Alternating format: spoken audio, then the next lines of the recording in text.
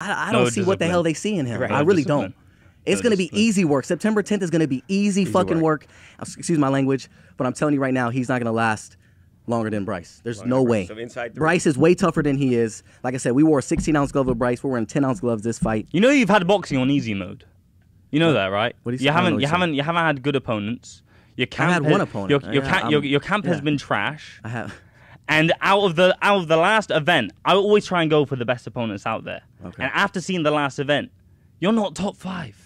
You're nowhere near the top five of influencers. So then why are you fighting me? Because I'm, like, not- bro, it's long overdue. I've been What are you waiting a year That and a no- half. that makes and not sense. only that, not only that, That the last no event of. Tayler Holder, you finessed me of the win, and for that you must pay.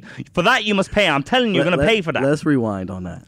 Because it's funny because he that's like the one thing he brings up is that I Right. finessed him on the win. When it comes to the judges and the commission, promotion Tayler's has your boy. nothing to do. Tayler Holder's your boy. If anybody you knows about wanted him to go win. That's what you wanted. That is what you wanted. Tayler Holder's your best friend. You wanted him to win.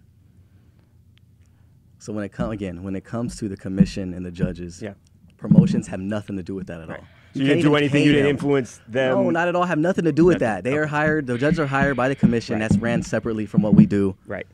And they I would never for whatever return reason, to they social felt, gloves They felt unless I was going to fight McBroom. they felt That's the truth of they the matter. felt they That's the felt icing like on the cake. it was a draw, So and then they, the they, they gave him the win. They did. So I don't know why Right. he's so upset about him not getting the win. not about and, now, that. and now he has a great It's- opportunity it's right not now. about that. I feel like he should be thanking me because I'm giving him an opportunity Brother. to be the main event. Right. I could have fought anybody else, but But I'm who? fighting. But I'm fighting fucking Gib. Right. Brother, Little no, Gib. No, no one wants to fight on Little this Gi- show. Little Gib. I'm giving you the opportunity. No one wants to fight on the show. that. But here I have Understand that.